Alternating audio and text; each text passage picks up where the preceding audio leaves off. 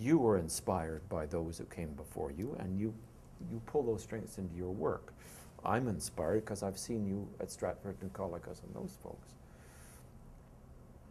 And it's the movies and um, video Well, games now it- that are. they- But not necessarily so, because the television, I- for instance, I did a Hamlet on television that was pretty well received back in 1964. The Elsinore first, one. The Elsinore one, yeah. Uh, and that was almost, well, it was a cut, of course, but it was a three hour and a half, four hour Hamlet. Was shown on two separate nights. But they did ambitious things. They could still do them if they wanted to. Uh, we had a wonderful cast in that.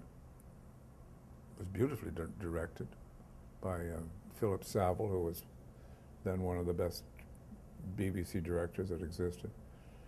Um, And this was actually shot in Elsinore, Elsinore, in yeah, it was a television production, but it was like a movie shot for television, and it was, it was very exciting. And sometimes I think television is, is easier to do the classics than movies, because movies, although physically it would be more beautiful on a film, but uh, not necessarily because words uh, and that medium do not go together. Television is a much uh, more uh, is a medium much more suited to, to, to the use of words. Um, you can Mhm. do that stuff on TV, and you can't necessarily do it on screen, on the big screen.